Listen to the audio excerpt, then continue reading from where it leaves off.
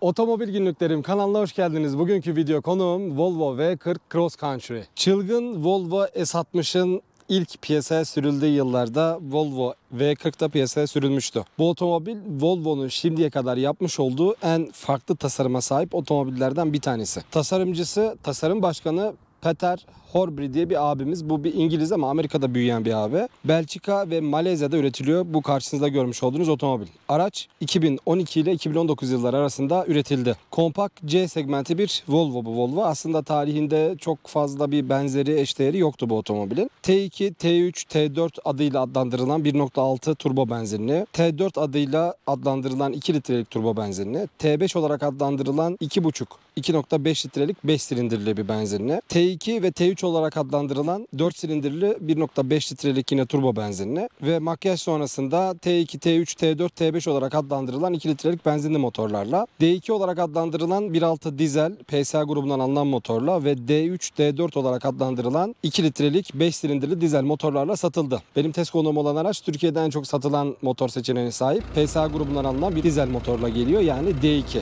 ve donanım paketi de Advance. Bu otomobille birlikte birden fazla otomatik şanzıman kullanıldı. Ford tarafından alınan power shiftler, Aisin'den alınan 6 ileri tam otomatik vitesler ve yine Aisin'den alınan 8 ileri tam otomatik vitesler kullanılmıştı. Bir de Volvo'nun M66 kodlu 6 kademeli vitesi kullanılmıştı. Daha öncesinde C30 olarak adlandırılan tek kapılı bir versiyonu vardı ama bu 5 kapılı bir otomobil ve bahsettiğim gibi cross country. Normal V40'tan biraz daha farklı bir otomobil. Neresi farklı? Jantları biraz daha farklı. Sürüş pozisyonu ve konumu biraz daha yukarıda. Bununla beraber bazı eklentileri var. Ön tamponun ucundaki renkli eklenti, yan tarafta yine siyah kaplı marş piyeller, iç kısımda cross country yazıları ve arka tamponda birazdan göreceksiniz. Eklentiler mevcut arkadaşlar. Yani biraz daha yükseltilmiş ve crosslaştırılmış bir V40 olarak düşünebilirsiniz. Bu otomobil Advanced donanım paketi ama biraz dolu bir Advanced donanım paketine sahip. Üzerindeki motor 115 beygir güç ve 270 Nm tork üretiyor. Bu motor işte Peugeot grubunda, Citroen grubunda, Mazda'da, Mitsubishi'de, Volvo'da ve Ford'da kullanılmıştı. Aracın ağırlığı 1600 kiloya yakın bayağı ağır bir araba. 324 litre bagaj hacmi var ve sıfırdan 100 kilometre hızlanması 6 ileri Ford'dan alınan Power Shift şanzıman ile beraber 12.1 saniye. Bu Power Shift şanzıman çift kanamalı bir şanzıman onu söyleyeyim. Şimdi önden başlayalım. Önde görüyorsunuz mercekli xenon aydınlatmaları, far yıkamaları ve altta sis lambaları yer alıyor. Karartılmış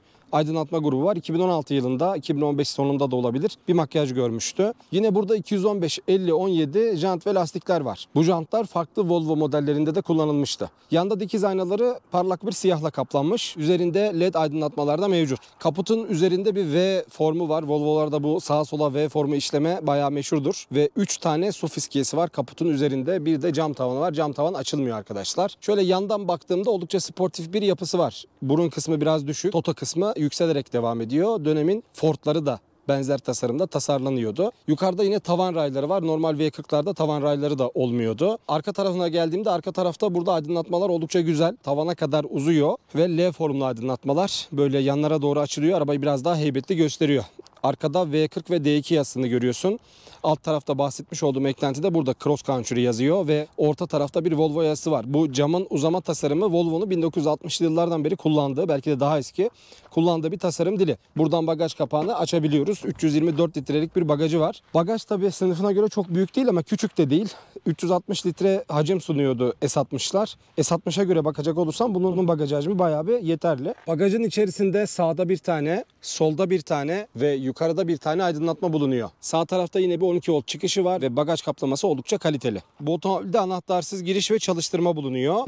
Şöyle Abi kapıların hissiyatı gerçekten güzel. Ağır kapıları da var. Buralar yumuşak malzeme. Şura oldukça yumuşak bir deriyle kaplanmış. Burası da deri. Kahverengi bir deri ve oldukça güzel. Şuradaki V formu da bayağı bir şık duruyor. Kapı içi gözleri küçük yalnız. İçeride 3 tane kafalık var. Ortadaki kafalık içeri doğru geçirilmiş. Onu yukarıda kaldırabiliyorsun. İnce formlu deri bir kol dayanağı var ve hemen onun altında iki tane bardaklık var. Bardaklık konumunu bayağı bir beğendim. Oldukça güzel. Arkadan ön tarafa bakış böyle. Arka koltuklar önlere göre bayağı bir yukarıda ve buradaki seyir zevki güzel ama tabii bu kafalıklar büyük olduğu için yan camları kapatıyor.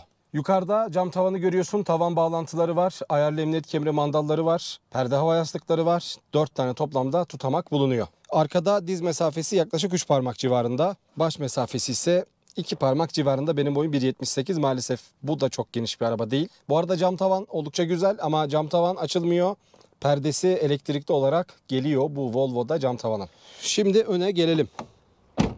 Yine burada da kapı hissiyatları oldukça güzel. Kapı yüzleri yine kahverengi. Buralar deri kaplı. Dört cam tam otomatik ayna kapama var. V formu yine güzel duruyor ve küçük kapı içi gözleri mevcut. Koltuklar bu şekilde kahverengi. Sol ön koltuk 3 hafızalı ve elektrikli, 8 yönlü elektrikli. Sağ ön koltuk manuel geliyor. İçerisine bindiğimde aşağıda ayak altı aydınlatmaları görüyorsun. Burada otomatik far, bir tane göz var. Hemen alt tarafta diz airbag'ini görüyorsun. Buradaki kaplamanın bu dokusunu ben pek beğenmiyorum ama kaliteli duruyor. Kör nokta uyarı sistemi var. Yine Bestunların hemen altında SIPS adı verilen yanal koruma desteği.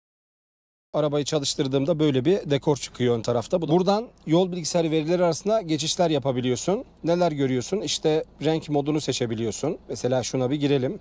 Renk değişti gördüğün gibi. Yine değişti. Temayı değiştirebiliyorsun. Mesela Elegans var, Eco var, bir de Performans diye 3 farklı temada kullanabiliyorsun. En güzeli Performans. Biz bunu da kullanalım. Yine burada devam ettiğin zaman aracın mesajları, servis durumu, yol bilgisayarı, yakıtı vesaire bunlara erişebiliyorsun. Çok detaylı bir dijital kadran değil. Yeniler daha de- detaylı geliyor. Ama görseli ve kalitesi gayet güzel. Ortada bir bilgi eğlence ekranı var. Bu ekran dokunmatik olarak çalışmıyor maalesef. Bunu aşağıdaki bu tuş takımı vasıtasıyla kontrol etmen mümkün. Mesela şuradan menüye basalım.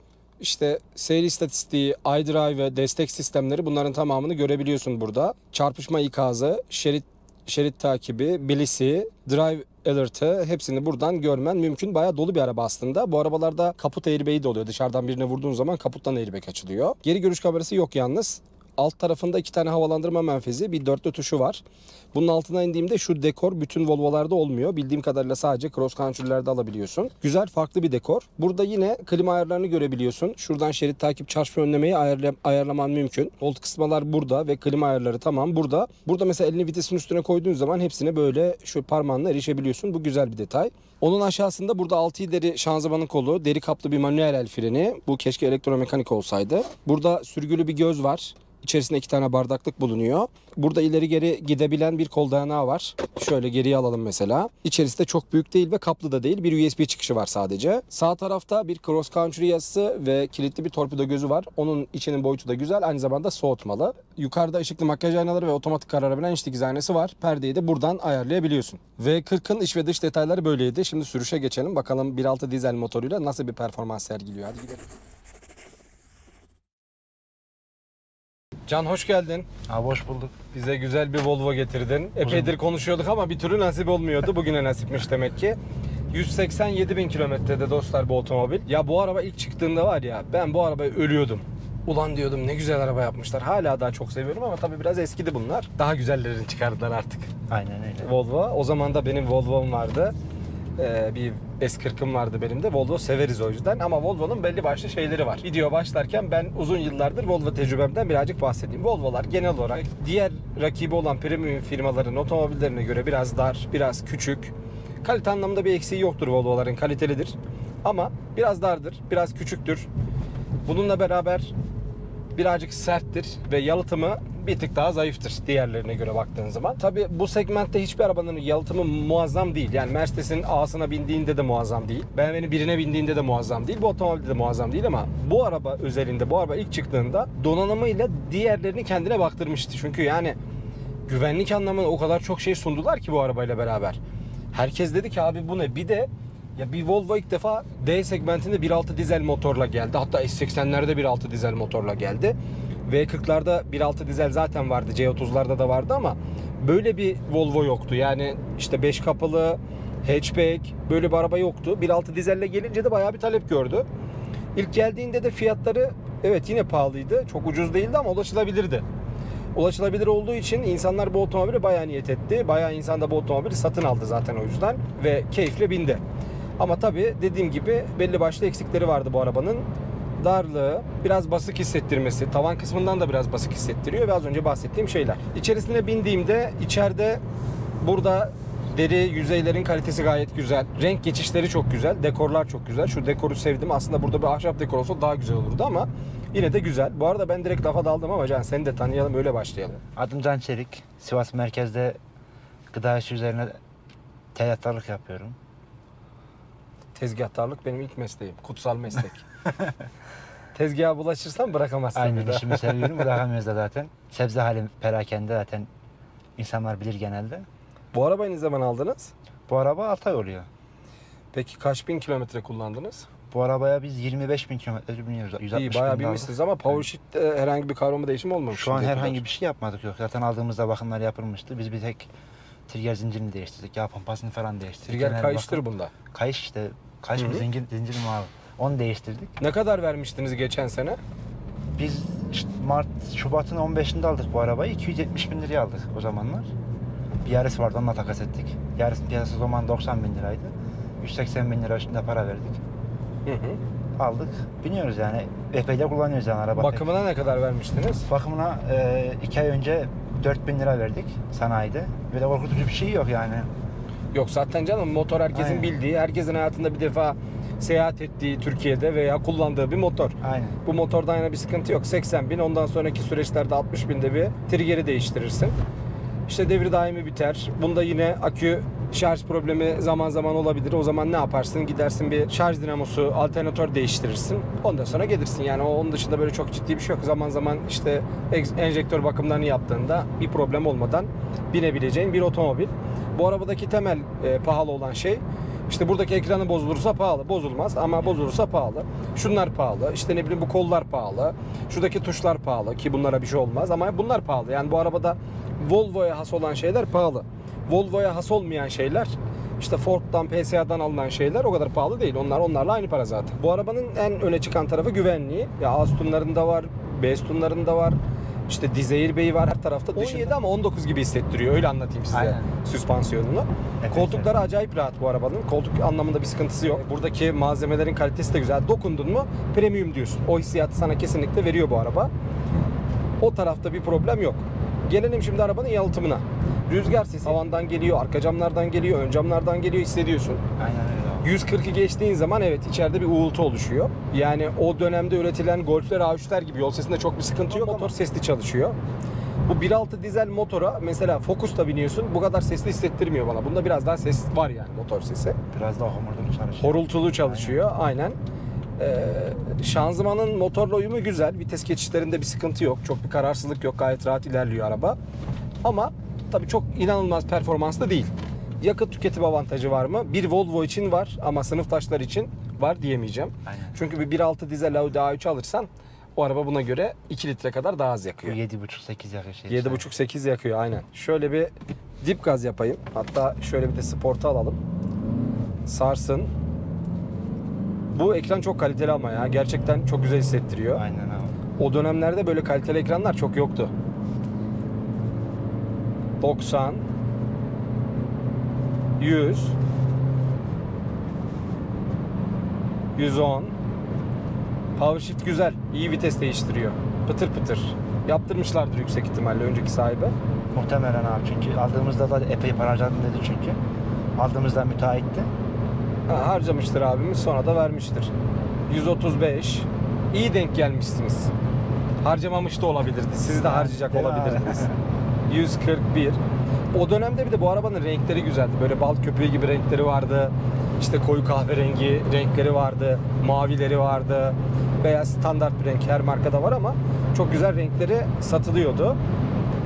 149 kilometre hızda burayı bitirmiş olduk arkadaşlar. Arkalar bağımsız, önler MacPherson.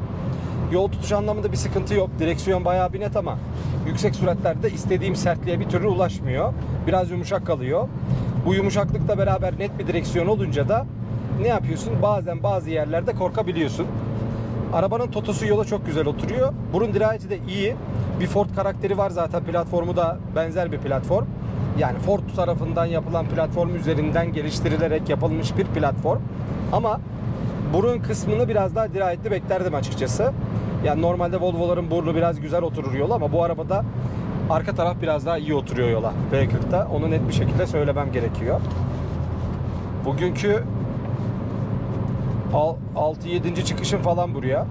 Bugün bayağı video çektim. Sabah 7'den beri video çekiyorum. 5 araba çektik. Bazı arabalarla böyle tam anlamadığım zaman birkaç defa turlayabiliyorum yani. Lan bir daha bir çıkayım falan filan diyebiliyorum. Şimdi burada 115 kilometre hızla. 1.6 dizel motor standart bir 1.6 dizel motor gibi performans olarak çok bir eksisi var diyemeyeceğim. Yani o yıllarda en fazla 11 saniye falandı 0 yüzü. işte DSG'li falan alırsan 10.5'lara falan çıkıyordu. Bunun da 12 küsür. Hani evet bir performans farkı var ama yola çıktığın zaman bunu hissetmiyorsun. Bunu sadece 0 yüzde hissediyorsun. Yan yana koyar kapıştırırsan hissedersin. Ama onun dışında hissetmezsin. Bak burası güzel hikaye.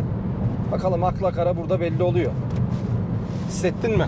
Hafiften bir geldi. Hafiften Geldi de hani öyle çok şey değil. Tek de Ya bırakmadı. o da yine. normal yani. Bak şimdi burada ön takım can çekişiyor. Ama güzel bir şekilde yola oturup devam edebiliyor. Burası Dortmund Airport'un en dik rampası. Bu rampada 1.4'te 20 70'i geçemiyordu. Benim arabam geçemiyordu. Bakalım şöyle bir. 4000 devirlerdeyiz. 104 kilometre hızla vites değiştirdi. 105. Arabanın ağırlığını şu an net bir şekilde hissediyoruz. Mi? Yani motor performans olarak güzel, aslında yakıt olarak da güzel ama ya D segmenti bir araba kadar ağır. Hatta bazı D segmenti arabalar bu kadar ağır değil. Bu araba gerçekten ağır bir araba. Küçük bir araba olmasına rağmen çünkü doldurmuşlar. Güvenlik adına ne varsa hepsini doldurmuşlar. Böyle çok dik bir rampaya geldiğin zaman diyorsun ki abi 1.6 dizel motor acaba acaba ama işte ülkemiz şartlarında 1.6 dizel motor. Yani, Yani. bunu onunla alacaksın. Burada sadece performans değil, kronik problem de işin içine giriyor. Volvo'nun özellikle kendi benzinli motorlarını aldığın zaman biraz kronikli harcatabiliyor.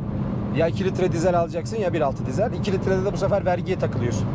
İşte oradan çarpıyorlar, buradan vuruyorlar. Gide gele 1.6'da orta yolu buluyorsun. Bir son hızına bakalım burada Can. 145 160'lardan sonra biraz performansı da törpüleniyor bu arabanın. Şu an gördüğün gibi 167 170 Ama pek de şey yapmıyor yani teklemiyor. Yok araba şey güzel yani, gidiyor. var Yüksek biraz. süratte güzel gidiyor ama motor biraz şey yapıyor hızlanmak konusunda. Törpülüyor değil mi? Tabii tabii. Yoksa araba güzel canım. Arabada bir sıkıntı yok. 182 kilometre hıza geldik. Şimdi bu arabayı normal standart moduna takayım. Bak kulakçık aradı ellerim. Kulakçık yok. Hadi, hadi buyur. Araba 151 kilometre hızda 2600 devirde gidiyor. 148'lerde de tam 2500 devirde ilerliyor. Devir oranları da güzel. Uzun yola çıktığın zaman bu arabaya 5 litre yaktırman pek mümkün ama sakin gitmen lazım. Bir tık gazlayayım gideyim dersen 6 litre bantlarına direkt çıkıveriyor. Şehir içinde de 7,5-8 litre civarında yakıyor. Gelelim kroniklerine. Kroniği Power Shift şanzıman. Ford'un bu şanzımanı zamanında çok fazla davaya konu olan, Amerika'da Ford'a bir sürü para kaybettirmiş, bir sürü kullanıcı kaybettirmiş olan bir şanzıman. Güzel çalışıyor ama çok dava konusu olmuş.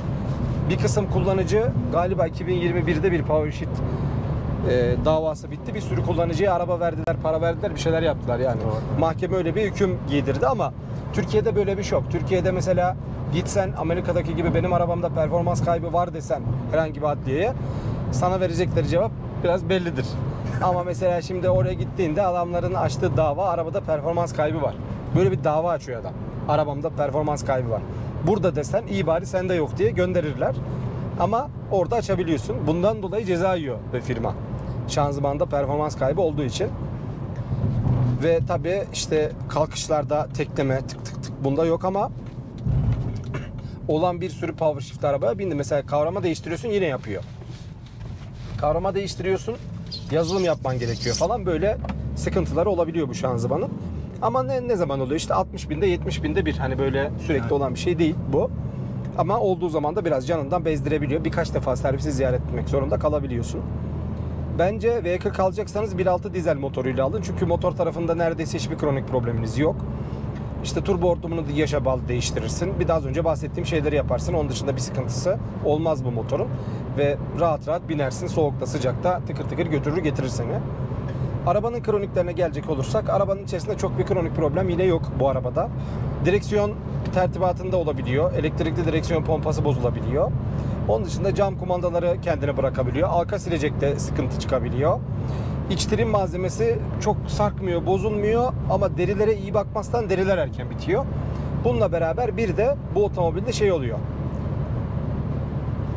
Trim sesi oluyor. Evet. Trim sesi var arabada. Bunda da var ama bunda çok fazla yok. Yani buna uzun yolda binmiş herhalde abi. Çok bozuk yola girmemiş. Biz bozuk yola çıktığımız zaman de sesi geliyor. Aldık arabayı hani 20-25 bin kilometre oldu ama 20-25 bin kilometrenin 15 bini uzun yolda olmuştur. Şöyle yani şimdi biz az önce drone çekimi yaparken bozuk bir yere girdik orada geldi biraz. Ama normal yolda giderken trim sesi falan gelmedi. Öyle bir araba. Umarım faydalı bir video olmuştur. Ben kullanırken bayağı bir eğlendim bu otomobili. Siz de izlerken inşallah eğlenmişsinizdir. Kanala abone olduğunuz, videoları beğendiğiniz, videoların altına yorum bıraktığınız için teşekkür ederim. Can sana da teşekkür ederim. Rica ederim. Arabayı getirdiğin için. Kendinize iyi bakın. Görüşmek üzere.